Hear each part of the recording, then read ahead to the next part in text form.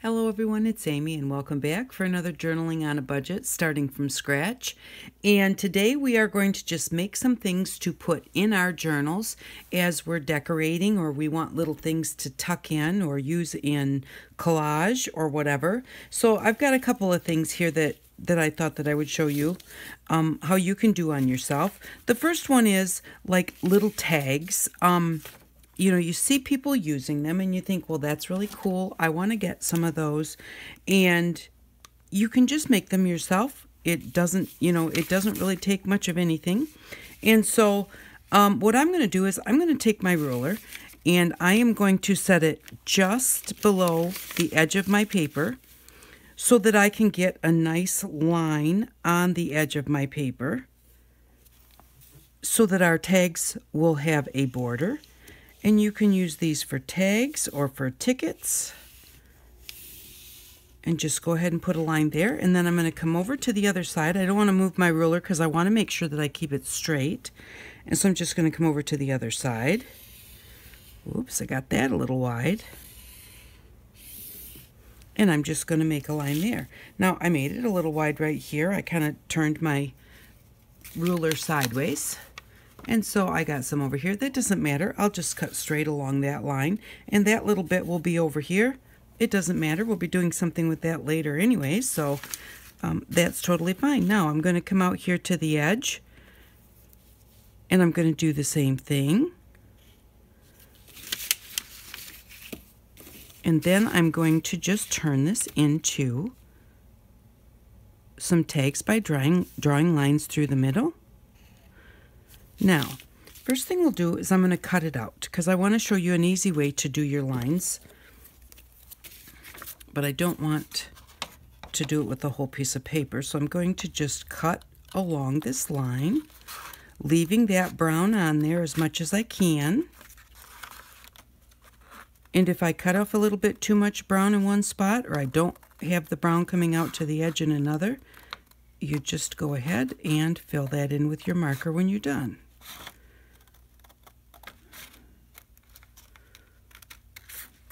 So there we go. Now we've got that. I've got a little spot here where it doesn't have any brown. So I'll just go in and just really quickly just touch that. And that looks good. Now, the easy way to make tags or tickets is to just take your piece of paper and decide if I fold it in half and then fold it in half again, that would be about the size of my tag. Is that about the size I want? Or do I want them bigger? Do I want to maybe want to try and fold it in thirds? And make them about that big. So I think to make them a little bit smaller, um, I am going to go ahead. Well, let's do them in thirds. I already have some that I've done and, and I'm just going to eyeball it. They don't have to be exactly exact. You can measure if you want to. This is just kind of um, an easy way that I do it. So that's about a third right there. So I'm just going to give that a fold. And then I'm just going to come over here and fold this one over. And now I know exactly where I need my lines. Like I said, if you want to, you can go ahead and, um, you know, measure and draw them just where you want them. Now, when I want to line my ruler up, I just hold my paper up like this and then push my ruler up to it so I know where my fold is, like that. And then I'm going to come over here and do the same thing. Now, I have a very plastic ruler, and it's quite thick. So when I draw on this, I do wind up getting the marker on my ruler. So you want to be careful about transferring that onto your, you know, getting it on your paper. And a lot of times I just go ahead and just kind of rub it off like this or just wipe it off with a damp cloth. But that way I know even if there's a little brown on there, it's probably already been rubbed off, so it's not going to get on my next piece of paper. And then this is kind of grungy looking, and it really does kind of look cool for, you know, something else. So now we have these little tags. Now, let's say, and, and here I have one that I did the same size, but I made it into four. And then here's one where I made it the same size, but I drew a line down the middle. So I would have little teeny tiny tags. I usually leave them together. You can cut them all apart right away, or you can leave them together. And then you can do with them what you want. I saw, um, I was watching Roxy Creations the other day, and she had some little tags that she had bought, you know, like online. Um, you can print them. And um, I really thought they were kind of cool. So I decided to make my own because hers had numbers on them. And I just thought that those were really kind of cool. So now this is two tags. I would cut it right down the middle. And, um, you know, and then I would have a couple tags with numbers. You can put words on there. Um, you know, you can, you know, put a little drawing on there. You can do whatever you'd like. But I just think that they're kind of cool. So, you know, so now I have all of these little tags and the other thing that you can do with them, well, let's do it with this one right here. I'm going to fold it on the lines.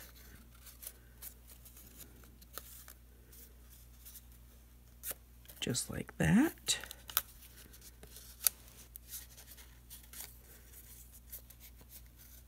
And then like that.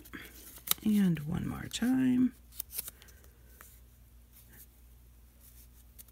And so now we've got all four of them right on top of each other. And then what I'm going to do is I'm just going to come to the corner and I'm just going to kind of round off this edge. Now if you want to draw that on there so that they're all exactly the same. Now I tend to like cut a little bit differently so I'm going to just flip this over so that hopefully my cut is kind of the same. But they don't have to be perfect but like I said if you want to you can um, draw the little curve on there. Now my fold here, this one is quite far off from my fold up there. So I'm not going to, I'm going to go ahead and cut this one like this. And what I do is I start my scissors straight in, and as soon as I start to make a cut, then I just kind of round it up like that. Okay, and then we're going to do the same thing. These three are lined up, so I'll leave them like that.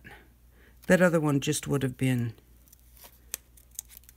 either would have made these really big or the edge of that one really small because of the way that it was lining up.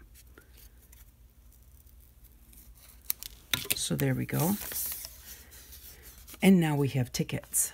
And if you want to, you can go in with your brown pen and you can go along those edges, but you don't have to. And I just think those look cool. So we have little tiny tags, label type tags, or, or just regular tag type tags. And you can do with those whatever you want. We have tickets that you can decorate up. You could write ticket on there if you want.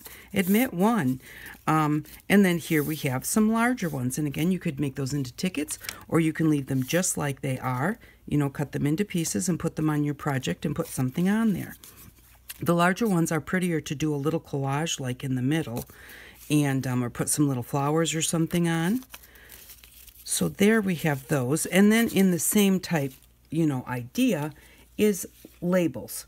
You see everybody using labels and you know, they're so, you can just make your own. I have a whole ton of them here. You just make them and then you just, you know, sit and do something with the edges however you want to. That one doesn't even have anything done to it yet, but just kind of scribble along the edges. Use your ruler to make straight lines if you want to. This one I cut on a diagonal. Now I can actually, if I want to, cut that in half. I did it like this so I could put something on the top and the bottom, put little stitch marks on it, little lines on it, and you can make some up so that you have labels for when you want to use them, and they're just so easy. Those ones I did with the tear ruler. So it's just a matter of yeah, I'm going to tear this way. Okay, I'm going to put the, the jagged side of my tear ruler right on the very edge of my paper so that I don't waste very much. And again, that little spot that I had that was bad, it's going to wind up getting torn off now, so it didn't hurt a thing. And then I'm going to put my ruler on there just to hold that down nice and tight. And because I'm tearing a really small bit, there's hardly anything under there, I'm going to make sure that I move my fingers to put the pressure where I'm ripping so that I don't pull that out from underneath up, oh, see like that. I didn't want to pull that out, and that's why I was putting the pressure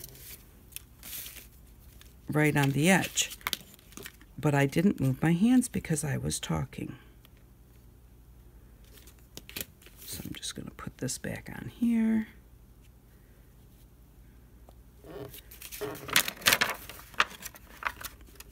Make sure that I put my fingers here to where I want to rip it now.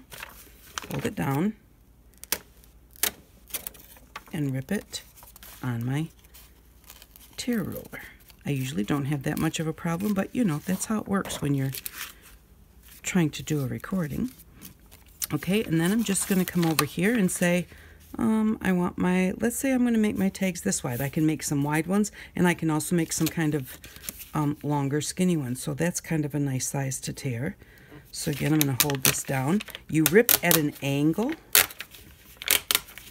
and it rips much easier. And so there we go. And now we can just make some labels with this. I want to rip off this little bit down here. Hold on to it nice and tight. Pull it an angle. And then come over here and do the same thing. Hold it down nice and tight. Rip it at an angle. And then we can make, let's say we want to make a big one like that, kind of a rectangle shape. And you don't have to make your tags ripped or your labels ripped. You can make them, you can just cut them. See, now we have that size. And we could leave that one that big. We could cut it in half. We could make it, let's make one that's a little bit smaller even. There we go. And then we have this one too. And then you just go ahead and decide how it is that you want to decorate them up. And like I said, I like to just sit in the evenings. I just um, either cut a bunch or tear a bunch. And then I just sit in the evening with my ruler or um, just freehand and just decide what is it that I want to do with that label. So, and then just do it like this. Now, you don't have to um, use a pen, you can use your markers, you can use whatever you have. You can paint the edges. If you have ink, you can just ink the edges. You can leave them plain. And if you do them up ahead of time, it's no different than if you'd went to the store and bought a bunch so that they were there and ready to go when you needed them. And there we go. It's just a cute little label, and I like the way that those look. So those are a couple of different things. We've got our labels that we can make, and we have little tags that we can make, and tickets. And then the last thing is buttons. You always want to have buttons. And so what I did was, and again, I'm just sitting in the evening and cutting these out. I just drew some circles onto a piece of um, chipboard. And the way that I did the circles, the way that's easiest for me to do circles is to um, draw around the inside of something rather than the outside. I find that easier, and so I just used um, the tape roll that we bought to make our washi tape. Just hold that down and just go like that. Just make sure that you press around the outside edge of that plastic reel in there and because when when I do around the outside sometimes I hold my pen like this and then I hold it like this and then I hold it like this. And it actually does um, misshapen your circle just a little bit. It works fine but if you have something you can draw inside of you can just do it a lot faster. You don't have to really pay attention to make sure that you keep your pen at the same angle to not move the lines of that circle. And you know see how fast you can just you know do a whole ton of circles. And then you just cut those out so. And normally when you're using something that's heavy like this, it's easiest to kind of cut down close to your shape, but leave something to hang on to. And then just cut them out. And then just take your time so that, and you know, by using the inside of that tape reel, then my circles are all going to be basically the same size. It's not like punching them or cutting them with a die cutting machine. They'll be a little more perfect but we don't have to have it exactly perfect. You just want to do a nice job because they are homemade. So just cut those out. And then once you get them cut out, what I do is I just take my scissors and I run them along the shiny side. Now, if you have an emery board or a piece of sandpaper, um, you can just go ahead and sand the back of your your chipboard if it has the shiny side on it because you want something for your glue to be able to grab onto. And the glue does not like to stick to the shiny stuff. And do make sure that you get up to the edges because you want those edges to glue together nice and solid. You can use this to make your button just as a single um, circle. I usually like to double them up just to make them a little bit thicker. And so I just have a whole bunch of them here that I was just sitting and, you know, I cut them all out and I scratched them all up.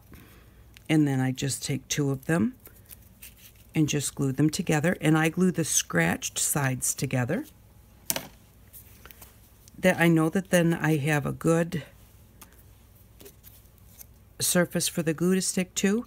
And then depending on how I use my button, if it hangs off, you know, the edge of something, or if I'm going to use it just as some kind of a dangle down, um, I don't have to worry about the the colored side, the scratched up side showing. I put those together and then I've got the chipboard on both sides.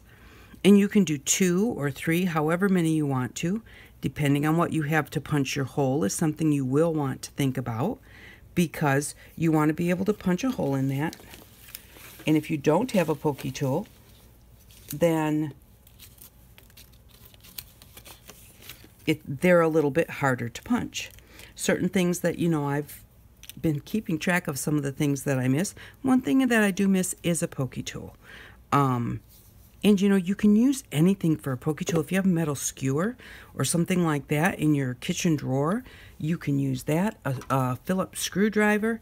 I have this pokey tool. comes in a four pack from um, Harbor Freight for like, they have them on sale for like 99 cents for the four pack or $1.99 um, sometimes on sale too. But, you know, the thing is, is that I did not get a pokey tool when I purchased what I had bought for this project, um, for this journaling series, and I am only using what I have for this series. So if you don't have one, I'm going to show you how to do it. Okay, so this is something else that I saved. This is an old t-shirt of Papa's, and it had a hole in it, and I was going to throw it away, or, well, usually I rip them up and use them for, um, just use them for rags around the house, but I'm going to use it um, as something soft to punch through. And then what I've done is I have cut a circle out of a magazine. Well, actually, it was out of our book, our flower book. I cut the circle that's the same size, and then I folded it in half, and I folded it in half, and then right at the point, I poked a hole through it. Now, I poked a hole through it, which it went through like the first layer or two, and then it just made a dent in the other layer. So then I just opened it up and pushed it through there so that I had the four holes were all in the same spot. And that way you have a template to put your holes on your button. So I'm going to hold that on there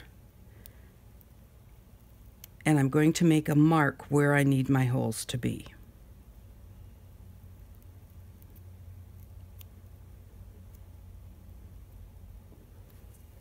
Make sure they went through. Yes, they did. Okay, so now we've got where we're going to put our buttonholes on there.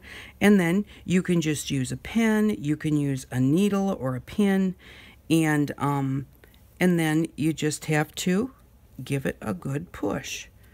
And I find too that it's easier um, to do it while your glue is wet than before your glue dries because your glue makes it a lot harder. You just want to make sure that you you know you hold it together. I let you know that glue grabbed. I let it get a little bit dry, and then I just kind of twist it a little bit as I'm pushing, and then just push down on it. If you have something soft underneath, um, then you'll be able to do that. Now my cardboard's getting a little bit wrinkly because it's also kind of squishing into the fabric, and that's okay because we're going to cover it. So. Um, if it gets a little bit wrinkled, that's okay. And also once the glue dries, then, so now we have our four holes in our button. And I usually go through and just open them up a little bit and then set it aside to dry and then you can go in and, and fix those holes up even a little bit more. Um, I usually kind of go from both sides after it's all dry and um, just kind of get those holes opened up a little bit. But there we go. Now we have a button. We can actually sew through that button. And once you get your button and you get your holes in your button, um, then all you're going to do is just decide how you what you want your button to look like. So this one, I did these out of um, just some of the extra little bits in my flower book. And, you know, that they weren't really big enough to make tags or anything, but they would make really pretty buttons. And so that is how you can make your own buttons. I, I have some more here that are just cut out. And all you do is you just take those and glue them to your button. I don't know what I did with the one that I just glued together. Well, it's here somewhere. Um, there it is. So you're just going to take that after this is dry, and you'll just take that and just glue it right onto the top. And go ahead and poke your holes in there. I usually use a pin from our sewing kit, and I just poke the holes from the back so I know where they are. And then I take my pen and push down into it, and that way that gives you really nice, it gives you a really nice finished hole on the front side. So there we go. And um, so that's another thing that we can make for our projects. And buttons are really cool to hold things shut. And, you know, you can use them for different parts in your project. You can also just glue them on um, to a collage or something. But I thought that that was something that was fun to make. Oh, let's throw this back up here. And we'll just put these out here. So those are our projects for today. We can make buttons and we can make labels of any size that we want. And we can make our tags. And we can make tickets or just some kind of um, larger tags or or things to embellish. So those are some of the projects that we've got for our book now. And they're nice little projects to sit in the evening and just play around with. And so I did want to show you that I have finished I I finished kind of gutting out my flower book. And what I've done is anything I wasn't that didn't have pictures, or pictures that I wanted. Um, I just stuck those in the front of the book so that I can go through and still get the words off of there. Um, I didn't have a piece of paper to put my words on as I was doing some, and so I, I started gluing them across the front of the book here. So they'll have this pretty green paper in the backing. But, um, and I want to do something with this, but I haven't decided what yet. But I pretty much just went through and I pulled out all of the pages that I wanted and, um, and cut out all of the pretty flowers. And then again, I can go through all of these and find words, like that was a good word right there it said support and it was in nice dark letters. This book, see support, that would be a really nice word to put in my journal. I would like that one. Um, but I just kind of wanted to show you that, that I was just sitting in the evenings and doing that. And so I have wound up with all of these pages now. I have them all cut. And they're easier for me to see. Like these would make nice postcard sizes right here. Um, but they're just easier for me to see if I cut them out of the book. Sometimes it's hard for me to picture what I'm going to do with it when it's inside the book with all the writing and everything. And also I know then what I wind up getting out because sometimes I go to rip a page out and then I rip my picture a little bit and it doesn't work for what I want it to. But, you know, so I just cut out all of the flower pictures and now I have them all ready to go. This one I thought might make a really cute tag or a belly band that goes sideways across the book. And um, there were a few like that that had writing on them that I thought might make kind of um, cool inserts into the book of some sort. Oops. Oh, this one had like um, just some de like definitions on it, which I thought was kind of cool. And just these ones with the you know, with the numbers. Oh, this goes with that. So, but anyways, I wanted to show you that I got all of those out of there. And then I have all of these flowers and leaves now to use on my projects and there's just a ton of them. So, um, but to me, looking at them like this again makes it so much easier for me to for, for me to decide what I want to use because seeing that in the book sometimes I don't see it you know like what it would look like on my project and then the little extra bits I was talking about I use to cut out circles to make buttons. So thank you very much for stopping by. I really do appreciate it. I hope that you have fun playing with some of these projects. I know that I did. And again, if you have an old t-shirt, save it because it can be used for things. Oh, also a few things that I'm also saving is um, dryer sheets because they make really cool layering. You can see through them and everything. Use dryer sheets because the new ones um, have that stuff on them and they don't stick very well with glue. And then also, I've been washing a few of my coffee filters off.